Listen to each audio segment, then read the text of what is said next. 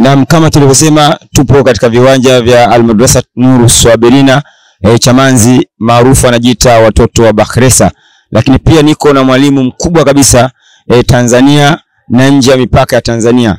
Kwa huku nimeona wanamwita mwalimu mmoja, ila mimi jinsi ninavyomjua sijajua wewe unamjuaje. Kwanza tumsikilize mwenyewe atajitambulisha, alafu tutamuuliza mawili matatu kuhusiana na tasnia yetu ya burudani ya kumsifu Bwana Mtume Muhammad sallallahu alaihi wasallam.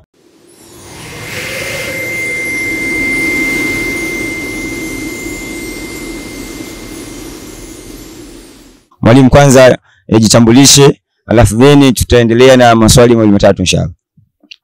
Uh, mimi kwanza, assalamu alaikum warahmatullahi wabarakatuh. Kwa jina mi naitwa Adam Yusuf Ali, ni Mzanzibari na katika tasnia yetu ya madufu natambulika kama Adam Kibonye au wenyewe wanasema mwalimu ni mmoja. Naam Sheikh. Wanasema mwalimu ni mmoja. Kwa nini mwalimu ni mmoja? Aa, ili mwalimu ni mmoja limekuja kwa taaluma mbalimbali na jina la mwalimu mimi sikulipata tu kwa, kwa njia ya ufundishaji wa watwari labda na, na, na kasida zake. Hapana, mi jina la mwalimu nilianza kulipata nadhani elfu mbili na nane kama sikosei, na nane na, na saba baada ya kwamba nilikuwa mi mwalimu wa madrasa eh, Aswati al-Qur'ani pale nikabidhiwa nikawa nasomesha mimi Qur'ani. Kwa hiyo jina la mwalimu lilianzia pale kutokana na wale ambao nilikuwa nawafundisha kile ambacho mimi nilijaliwa na Mwenyezi Mungu, jina mwalimu ndo lilianzia pale. Mwalimu, kabla hatujaingia katika maswali ya huku, ni najua umetoka Zanzibari masiku machache. Vipi safari ya Zanzibar kwa mwaka huu? Ah, kwa ujumla safari ilikuwa mzuri alhamdulillah, kwa ndugu zetu pale Safina Zanzibar, na tulikwenda kufanya kazi ambayo tulikuwa tumejiandaa nayo, na alhamdulillah mpaka mara ya mwisho tunafanya maagano na ndugu zetu Khalid bin Walid, basi jambo lilikuwa zuri na watu wote waliohudhuria waliburudika kwa ujumla. Watu waliburudika kwa ujumla.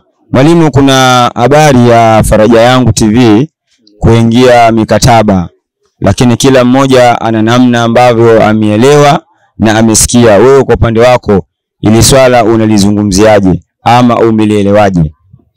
Ah, binafsi kwa upande wangu silioni kama ni baya na ni jambo zuri, kwa sababu kwanza hizi media zi, mwanzo kulikuwa hakuna hizi media. Ah, mimi nilichogundua kwamba eh, kuhusu hii mikataba ambayo wameingia ndugu zetu Faraja Yetu TV si mibaya, kwa sababu ni kwa ajili ya kusapotiana na ni kwa ajili ya kuisapoti hii Faraja Yangu TV, kwa sababu sometime wanakuja sehemu mbalimbali na hawana usafiri eh, labda wakishamaliza kushuti wanataka kuzi, ku, ku, ku, kuziweka YouTube hizi video, inakuwa kidogo mtihani kwao. Kwa hiyo wanasapotiana, madrasa ikichangia kidogo, basi na wao Faraja Yangu TV wanapata chochote kitu kwa ajili ya kujiendeleza zaidi ya, ya, ya, ya, ya hapo walipokuwa.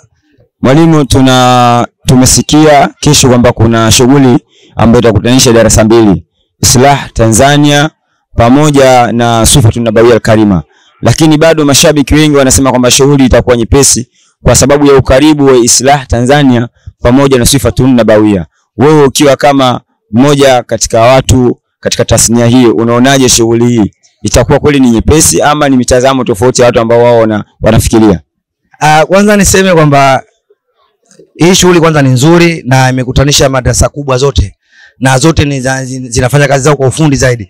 Kwa hiyo mimi na nahisi shughuli itakuwa nzuri zaidi kwa sababu Islaha ni fundi na Swifa ni fundi, kila mtu kwa nafasi yake na, na tuni yake ambao mwenyewe amejichagulia. Kwa hiyo kwenye sijui shughuli itakuwa nyepesi, itakuwa nzito, mimi na hisi mashabiki wafike uwanjani, walichokiandaa Islaha, walichokiandaa Swifa kitaonekana uwanjani inshallah. Mwalimu, wewe ni mkubwa ama ni mtu wa muda mrefu kwenye tasnia hii ya burudani ya kumsifu Bwana Mtume. Nataka uambie vijana wa leo ambao wapo katika tasnia hii ya kumsifu Bwana Mtume Muhammad sallallahu alaihi wasallam, ushauri wako juu ya burudani zetu za kumsifu Bwana Mtume Muhammad sallallahu alaihi wasallam.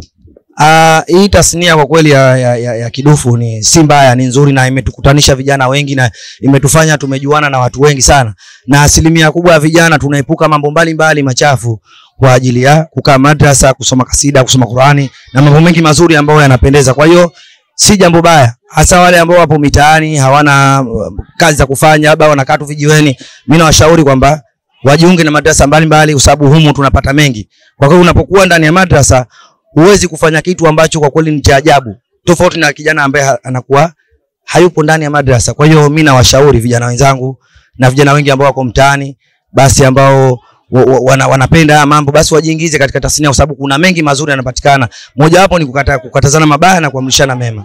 Eh, Inshallah nimshukuru mwalimu Adam Kibonye maarufu Ada mwalimu mmoja eh, katika viwanja vya Nuru Swabirina Chamanzi eh, na mimi pamoja na nyinyi tuwatakieni eh, vipindi vijavyo vyema kabisa. Msiache kufuatilia Faraja Yangu TV leo na kesho inshallah bizinillah, tukutane katika shughuli ya jamvi ya Islah Tanzania pamoja na Suhbatu Nabawiyya Karima inshallah.